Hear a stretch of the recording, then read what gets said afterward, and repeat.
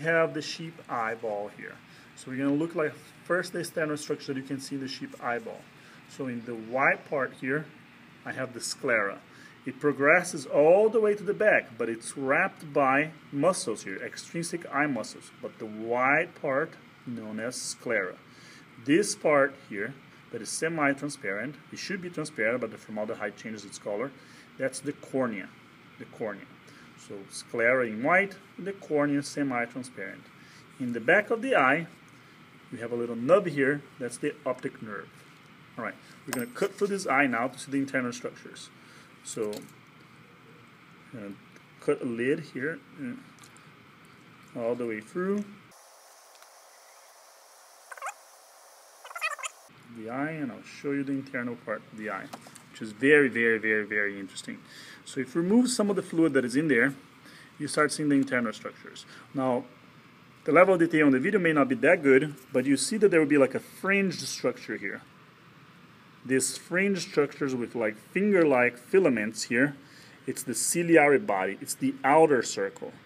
The inner circle with the, which the fringes are much thinner and finer, these guys are the iris. So two circles, the outer one, the ciliary body, which is a group of muscles that hold the lens together, and the iris here that can dilate um, and or constrict, increasing the, the, the hole here. The name of this hole that you can see, the white part here, the name of the hole is the pupil. So the pupil varies in size depending on the progression of the iris. You, of course, the hole here, you can reverse it, it's pointing to the cornea. We just looking this side, and then you can see the cornea on this side coming through the hole. Alright, so now we move to this part here, and the first thing you notice is that there's a gel-like structure here. This gel here is the vitreous humor. This island in the middle of the gel that I just took off, that's the lens. The lens is held together by the ciliary body, so it should go in the front here. Now, it's hard to see, but if you see in the back there of the the humor, there's a skin-like structure that is starting to get folded. So it's like white skin color. So I'm gonna dump the vitreous humor, which is this gel here on the tray. And I tell my student that looks like a little breast implant, and it does look like one.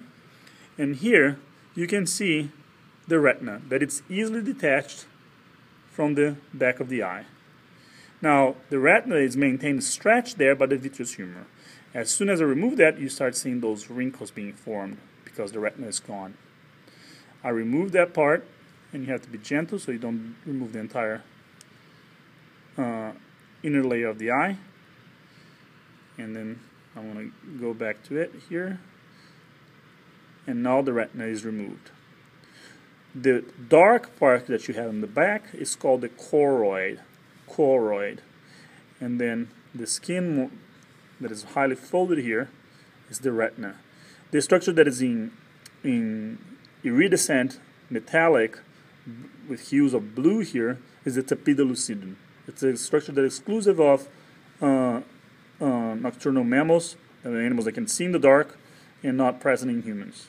So the retina is held together at one point of insertion there, I put more of the liquid, and that point of insertion there, it's the optic disc.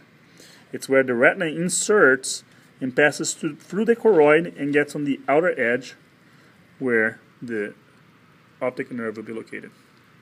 So a quick review. Cornea, sclera.